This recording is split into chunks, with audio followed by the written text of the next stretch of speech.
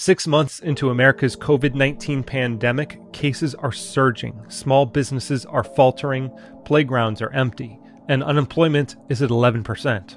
Our best hope for ending this nightmare is a vaccine, and there are more than 165 in development. But when a vaccine becomes available, how many Americans will refuse it? Bill Gates' vaccine is magically ready, but in order to get the vaccine, you also have to receive the biometric tattoo. Will you take it? I don't trust the vaccines. I never did. And be able to force things into your body that then slowly debilitate you with binary weapon systems and kill you. Vaccines are the greatest healthcare advance of our time, preventing an estimated 4.5 billion infections since their advent. So, what explains the reluctance of so many Americans to vaccinate?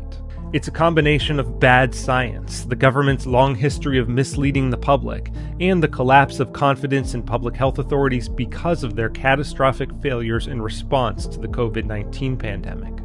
But if the government responds by attempting to force Americans to take a COVID 19 vaccine, it will only help the conspiracy theorists. Public health officials can begin to undo the damage of the past six months by rejecting authoritarian and paternalistic approaches in favor of careful persuasion and brutal honesty about the limits of their own knowledge. Though most Americans surveyed say they'll probably take the vaccine, there's a real possibility that a sizable block of refusers could allow this novel coronavirus to continue spreading based on what's happened with measles.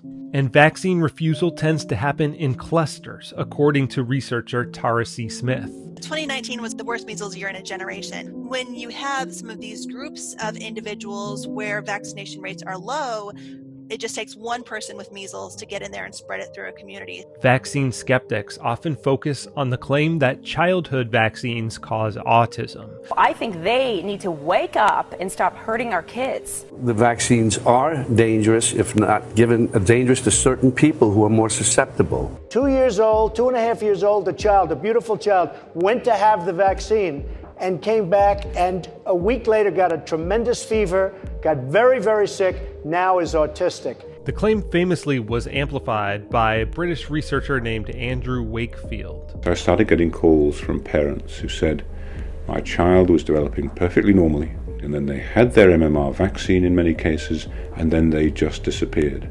His 1998 paper linking vaccines and autism was later retracted, and the UK General Medical Council found him guilty of multiple ethics violations for lying about his test subjects and failing to disclose a financial link to an anti vaccine lawsuit. But concern about vaccines is rising among parents, along with objections to the use of mercury preservatives, which both haven't been proven to do harm and haven't been present in childhood vaccines for nearly 20 years. An ecosystem of anti vaccine information has emerged, and according to the American Journal of Public Health, bots and paid Russian trolls participate in online vaccine debates far more than the average social media user. And the trolls don't always join the anti vaccine side of the debate, but aim to elevate the visibility to create false equivalency, eroding public consensus on vaccination. You have some people that really don't know what to think. So, you know, we, we think of them as, as kind of fence sitters, and they're really just trying to figure out you know what is going on what do i believe what do i trust largely those people in the middle are the ones that that i try to reach. But U.S. public health authorities have sometimes misled the public about vaccines and other public health interventions which has made the job of convincing skeptics more difficult. The united states government did something that was wrong deeply profoundly morally wrong the Tuskegee experiment sowed deep distrust of the government and public health, particularly in black American communities. In 1932, government doctors recruited mostly poor black sharecroppers at the Tuskegee Institute for a study of the impact of syphilis. The participants, the majority of whom had the disease, were told they were getting an experimental medicine when in fact they were all given a placebo. Scientists running the study were actually interested in the progression of the illness when left untreated. The experiment continued until well after penicillin became available in 1947, and many participants died. They were lied to by their government. Another incident that damaged trust in public health occurred in 1976 when a novel virus called the swine flu broke out at a U.S. Army base, and scientists believed that it bore a genetic similarity to the 1918 flu that had killed more than 100 million people worldwide. We will offer every American the opportunity to be inoculated against a swine type influenza virus. President Gerald Ford authorized $135 million to develop and deploy a vaccine, and the government injected 25% of Americans in a 10 month period. But the global pandemic never came. The disease died out, and the rushed version of the vaccine likely resulted in some injuries, though probably not as many as reported by the media at the time. Smith says more humility is called for in public health communication it's hard, but I, I, think we have to emphasize that uncertainty.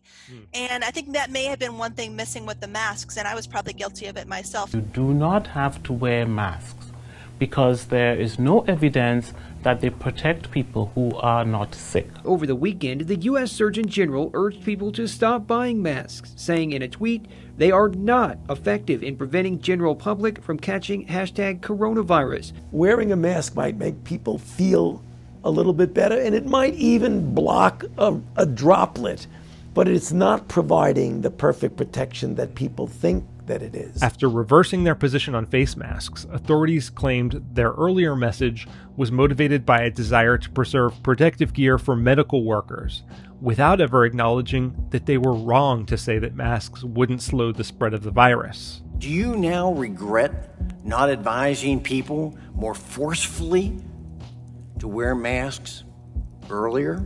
I don't regret that because let me explain to you what happened.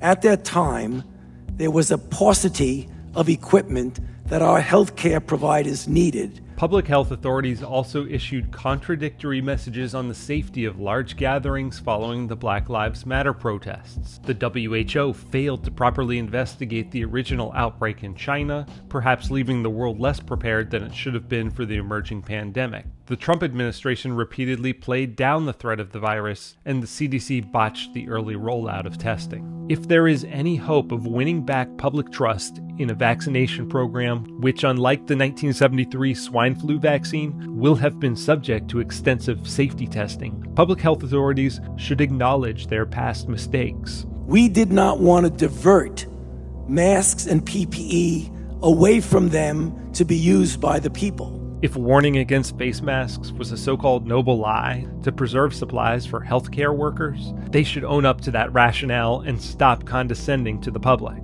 Doctors should acknowledge that vaccines can carry some risk, but that it's a risk often worth taking because there are no perfect solutions, only trade offs. The lesson of the last six months is that authoritarian mandates and noble lies tend to backfire. Fact based persuasion, which is the basis of good science, is our best hope for stopping COVID 19 and restoring the personal freedom that's been eroded by the governmental and societal response to it.